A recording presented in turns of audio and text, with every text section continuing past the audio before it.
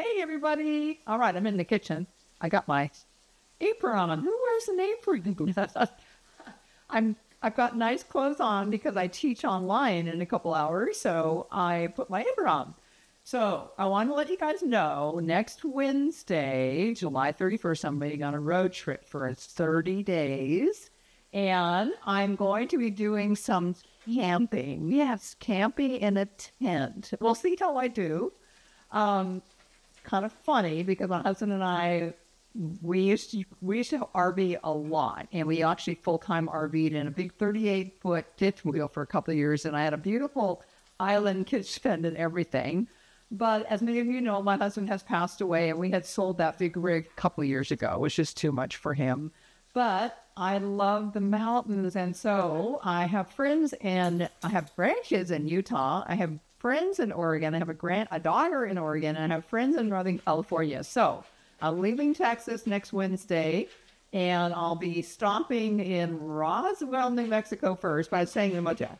Um, and I have a little doggy with me. Gus, say hi. Gus, hi. so um, he's going to have fun camping. Anyway, and so you guys can follow me. I am going to be talking and posting and doing videos. And I don't know where I'm going to have cell reception at. But anyway, the first uh, night will be in Roswell. Second night will be in New Mexico, but northern New Mexico, up outside of Albuquerque. I'll be camping, and then um, further on, I'm going to be up in Utah the next night and camping. So I am making food to take with me because I don't want to have to cook uh, very much. I have a little camp stove, um, but I just want to be able to throw something in a pot and heat it up. So today I'm making stew. And I thought it would taste so good because you know what? It's a lot colder up there at 7,000 feet than it is here in Texas right now. And I don't know about you guys, but I love stew. It's just it's just a warming, I don't know, comfort food, right? And I usually do it there in the winter, but I'm doing it here in the summertime so I can take it with me. Um, but I am using some of my bone broth that I made. So how many of you guys can? So I made bone broth. Um, this bone broth was in December. I made this in December, and I have, gosh, about six quarts of bone broth. And I'm going to put that in my stew. I got my meat all browned here. Still need to put potatoes and carrots and onions in there. But I'm going to use this bone broth. And of course, bone broth, you know, the benefits to bone broth are wonderful because of the collagen in the bone broth. And it's just so much better than putting it like a can of beef broth that you buy at the grocery store. And so it's so nourishing. So I just, I love making uh, food from scratch. The meat is grass fed beef, and we had bought a quarter of a grass fed beef last fall. And so I'm working my way through that. This is the last stew that I had. And I just want to give you guys an FYI on grass fed beef. It's expensive at the grocery store, um, very pricey at the grocery store.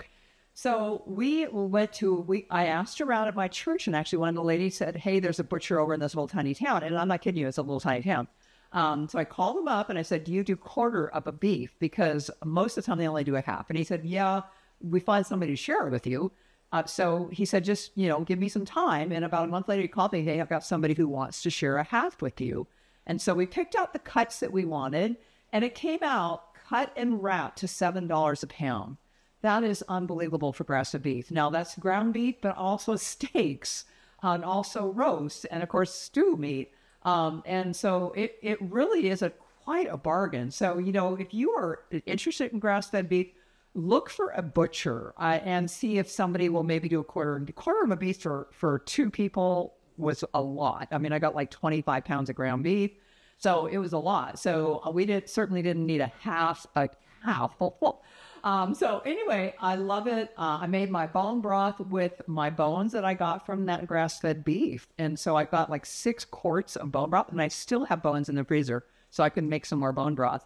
And I use it in soups and bases like minestrone soup, you know, lentil soup, things like that. I'll make it as a base for that. So I would really encourage you if you, want to eat grass-fed beef, which I highly recommend, it's far better than factory farmed beef, right? Because they're feeding a lot of grains and they're in the factory farm some great.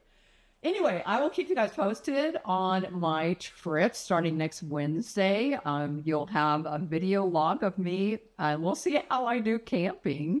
All right, you guys, have a great day. And if you want more tips like this, make sure and follow me on Divine Farmer Health.